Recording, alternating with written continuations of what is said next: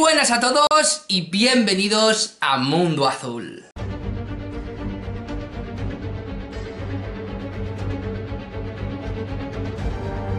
Bueno, pues ya estamos aquí un día más y hoy, amigos míos, os traigo un vídeo que tenía muchísimas, muchísimas, muchísimas, muchísimas ganas de traeros porque es algo que cuando yo lo supe, allá por hace unos cuantos años, eh, me causó mucho impacto y hasta donde yo he podido investigar es una información bastante interesante. Nada más y nada menos, ya os lo adelantaba en mis redes sociales, en las fotos que pongo en la pestaña de comunidad, mm, pestaña que siempre os invito a, visitar porque yo ahí voy colgando fotos, voy colgando encuestas, ya sabéis, todos aquellos que me seguís, tanto en las redes sociales como en el, en el grupo de Telegram de Mundo Azul, que también os recomiendo que me sigáis. Y eh, se trata acerca del asteroide conocido como Bennu.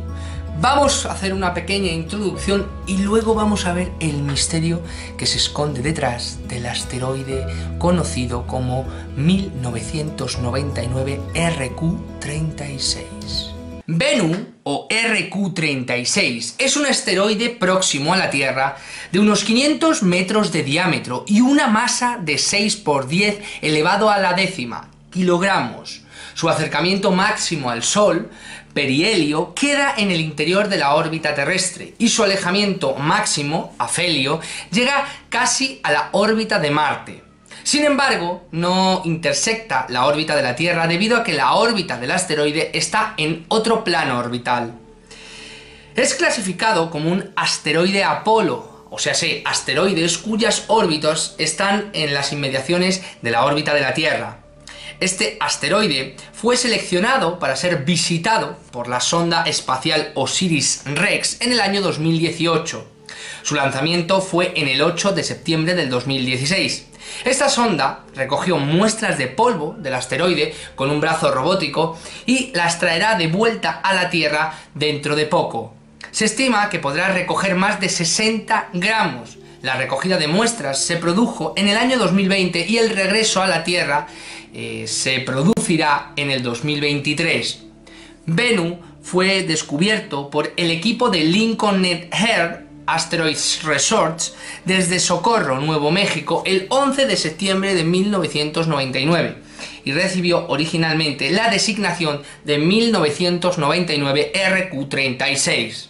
Bueno, pues como veis, este es el pequeño prólogo, el pequeño resumen que siempre hacemos, más breve de lo normal, pero ahora vamos a ver por qué es tan breve. Esta es la información que vosotros os podéis encontrar llana, aséptica, sin ningún tipo de manipulación, nada. Vosotros metéis Venu o 1999 RQ36 Asteroid, en inglés, o asteroide en español, y vais a encontrar esto que yo os acabo de poner.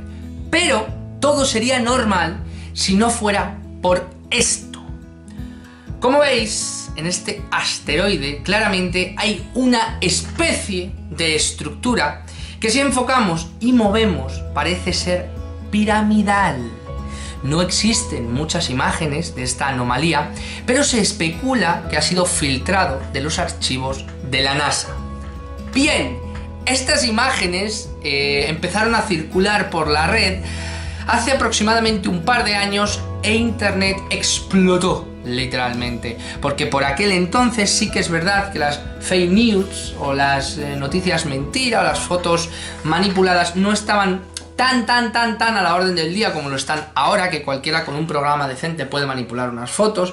Evidentemente no hay que creerse todo lo que nos cuentan, ni hay que creerse, pues, la primera evidencia que nos que nos brinda Internet, porque ya sabemos que Internet es un hervidero de conocimientos, pero también es un contubenio asqueroso de mierda ingente y mentiras. Si me veis sudar como un pollo, es que me estoy cociendo en mi propio jugo, porque estamos a 36 grados aquí hoy, en Castilla y León, más concretamente en la provincia de Ávila. Y estoy ahora mismo secándome el sudor, porque esto es horrible. Si me veis derretirme, ya sabéis por lo que es, no os asustéis, los bombones al sol siempre se derriten, o con el calor, me da igual. Dicho esto, qué gilipollas soy. Dicho esto, amigos míos, como os estoy explicando, esto no presentaría ningún desafío intelectual ni nada si no fuera porque estas imágenes eh, no se ha encontrado al autor o autora de estas fotos y además lo que supuso un halo controvertido es el hecho de que además de las imágenes, de una especie de mini dossier de imágenes, también eh, hay vídeos, cuatro concretamente en una secuencia prolongada.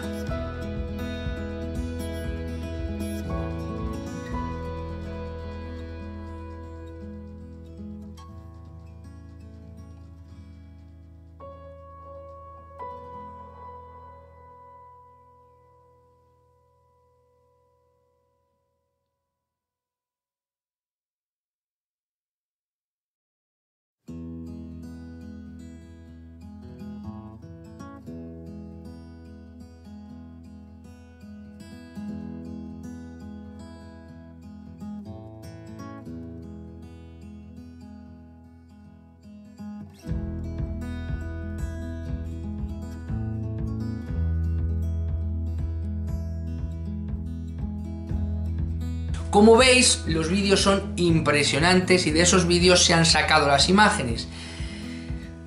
¿Pueden ser mentira? Pueden ser mentira.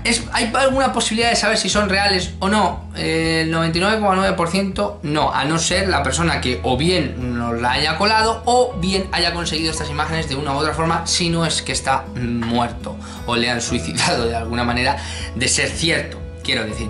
Pero bien, aquí surgen eh, una serie de puntos que podrían pasar desapercibidos que a mí me han hecho creer, y esto es una opinión personal, en estas imágenes y estos vídeos. ¿Por qué?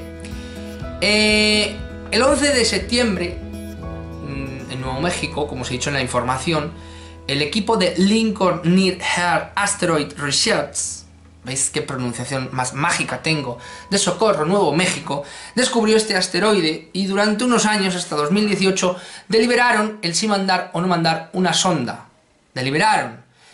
Y amigos míos, decidieron mandarla, una sonda no muy grande, aproximadamente un, un carrito de la compra, para que recogiera muestras y volviera. Bien, esa sonda vale miles de millones de dólares, eso sin contar con, además del combustible para poder salir, eh, el artilugio en sí, evidentemente, y eh, las medidas que tiene para poder desplazarse, que no es combustible, que ya aprovecha la energía, cierto tipo de órbitas, incluidas las del propio asteroide, y como el asteroide está relativamente cerca, teniendo en cuenta las distancias del universo, pero mucho más cerca de lo que podría estar, yo que sé, por ejemplo, Marte, eh, pueden llegar relativamente fácil y sobre todo calculando las órbitas y demás. Bien, Perdonadme porque todavía estoy un poquito constipado. El problema es por qué han elegido concretamente este asteroide, teniendo en cuenta que lo que van a recoger ya saben lo que hay, porque han recogido muestras de otros asteroides, tanto como los que han caído a la Tierra, como de algunos que han podido recoger cierto tipo de polvo estelar. Ahora no hace falta, amigos míos, con la tecnología que hay, recoger muestras para estudiar fotografiar y casi prácticamente escanear en diferentes colores, en diferentes eh, gamas espectrales, se sabe perfectamente de qué está compuesto ese meteorito, perfectamente. Incluso ya ni siquiera cogen al propio, ni, ni van al meteorito, ya simplemente cogen la estela y cogen la radiación del meteorito y decirme, ¿por qué se gastan miles de millones de dólares en hacer esta estupidez? porque es una absoluta estupidez. Es como gastarse miles de millones de dólares en hacer un gramo de oro. No tiene sentido, ¿vale? Es como, eh, básicamente como dicen en mi pueblo, eh, vender el coche para comprar gasolina. No tiene ningún aspecto ni ningún sentido porque lo que van a obtener es simplemente un meteorito de arenisca y granito con algunas que otras composiciones, a lo mejor alguna aleación un poco más, y sobre todo que hay otros asteroides, muchísimos más asteroides, exactamente igual, con las mismas características y han ido a elegir este concretamente. ¿De acuerdo? Porque hay otros que se han descubierto mucho antes, con mucha más anticipación, por así decirlo, y de los cuales también podrían, y dicen, no, ese es un programa del cual hemos elegido al azar este. Amigos míos, no.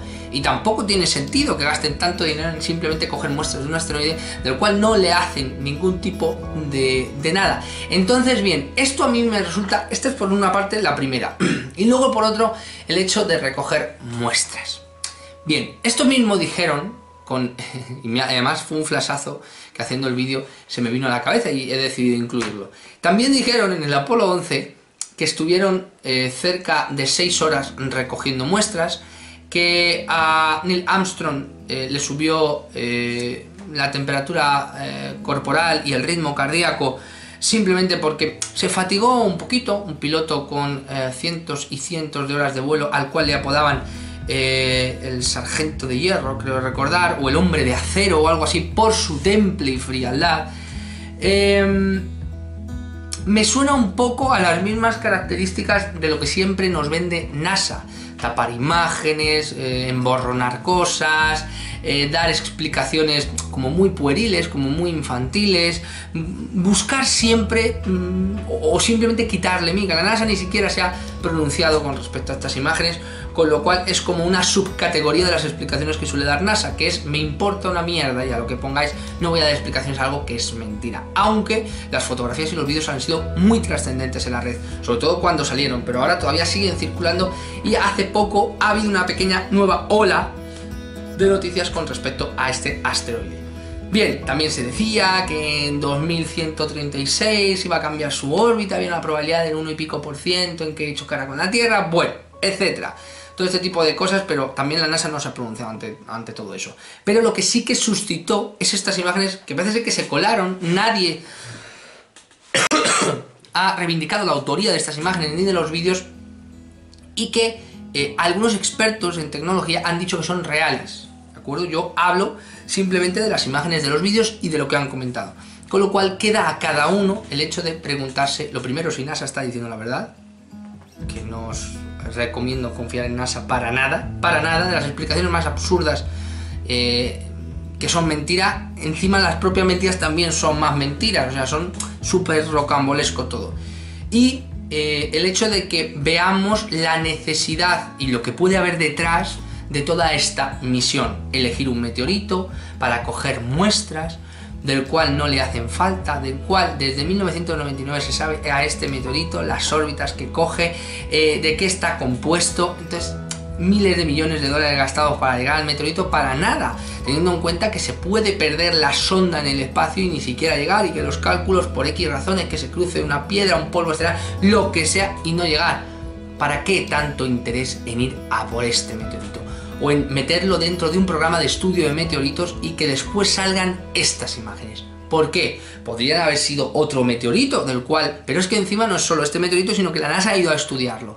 Me parece todo mucha casualidad, me parece... Y luego estas imágenes, la verdad es que están bastante, desde mi punto de vista, bastante bien conseguidas. A lo mejor las imágenes en sí pueden eh, levantar un poco de suspicacia y demás, pero los vídeos, a mí, mía que he visto vídeos de mentira y vídeos muy bien logrados y muy bien conseguidos, gente casi profesional que se dedica a eso, a mí estos vídeos me parecen real. Yo os quería presentar esta información y sobre todo, y lo más importante, una pregunta que eh, de alguna manera quiero eh, pasaros el testigo con esta pregunta.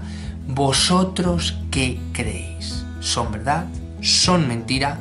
Y lo más importante, de ser cierto, de haber una posibilidad más, menos... Mm, regular o, todo de que esto sea cierto, ¿qué implicaciones, qué connotaciones daría al contexto universal? Una pirámide, ¿eh? una pirámide adherida a un meteorito que orbita el sistema solar. Por Dios santo, ¿qué no conocemos de nuestro universo? Nada, evidentemente.